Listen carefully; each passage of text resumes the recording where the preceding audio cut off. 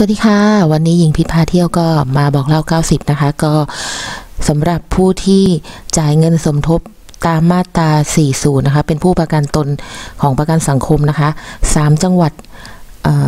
ที่ได้ลงทะเบียนไปตั้งแต่วันที่ 1 สิงหานะคะ จน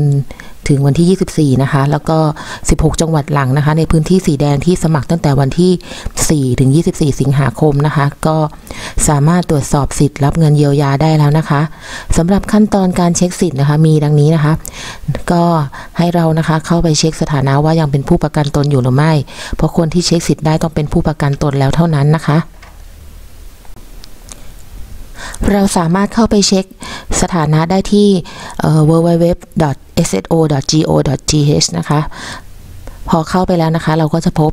หน้าตาเมนูนะคะ ตรวจสอบสิทธิ์โครงการเยียวยาผู้ประกันตนตามมาตรา 40 ค่ะ เราก็คลิกเข้าไปเลยนะคะ แล้วเราก็จะพบกับเมนูที่ให้เรากรอกข้อมูลนะคะ ก็จะใส่เลขประชาชนนะคะ แล้วก็ใส่รหัสใต้รูปภาพนะคะ ตามที่ลูกศรชี้ไว้เลยนะคะ แล้วก็รอนะคะ ก็มันจะขึ้นสถานะนะคะ สำหรับคนที่เป็นผู้ประกันตนแล้วนะคะ ก็เข้าไปเช็คได้ที่ระบบสมาชิกผู้ประกันตนได้อีกทางนะคะสำหรับระบบสมาชิกผู้ประกันตนก็จะต้องมีการสมัครสมาชิกก่อนค่ะ ใครที่เคยเป็นผู้ประกันตนมาก่อนหน้านี้แล้วแล้วขาดส่งนะคะ ถ้าเคยเป็นสมาชิกอยู่แล้วก็สามารถล็อกอินเข้าระบบได้เลย แต่ถ้าเป็นผู้ประกันตนรายใหม่ จะต้องทำการสมัครสมาชิกซะก่อนนะคะ ถึงจะเข้าใช้งานได้ เมื่อเพื่อนๆนะคะ เข้าไปตรวจสอบข้อมูลในระบบแล้ว ขึ้นสถานะได้รับสิทธิ์ก็ดีใจด้วยนะคะ แต่ถ้าเกิดคนไหนไม่ได้รับสิทธิ์นะคะ ก็จะต้องรีบทบทวนสิทธิ์นะคะ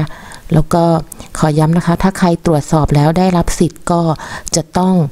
ตรวจสอบบัญชีเงินฝากธนาคารของตนเองเลยนะคะ ว่าสถานะของเราเนี่ยได้ผูกบัญชีพร้อมเพย์แล้วหรือยังนะคะ ถ้ายังนะคะต้องรีบเคลียร์บัญชีตัวเองนะคะ โดยการผูกบัญชีพร้อมเพย์ด้วยเลขบัตรประชาชน จะต้องเป็นการผูกบัญชีด้วยเลขบัตรประจำตัวประชาชนเท่านั้นนะคะ ไม่สามารถใช้เป็นเบอร์โทรศัพท์ได้ค่ะ หรือถ้าใครนะคะได้ปิดบัญชีไปแล้วนะคะ ก็จะต้องรีบตรวจรีบแจ้งกับธนาคารเดิมนะคะ ที่เราเคยผูกพร้อมเพย์แล้วเราปิดบัญชีไปแล้วนะคะ เพื่อที่จะทำการแก้ไขข้อมูลแล้วก็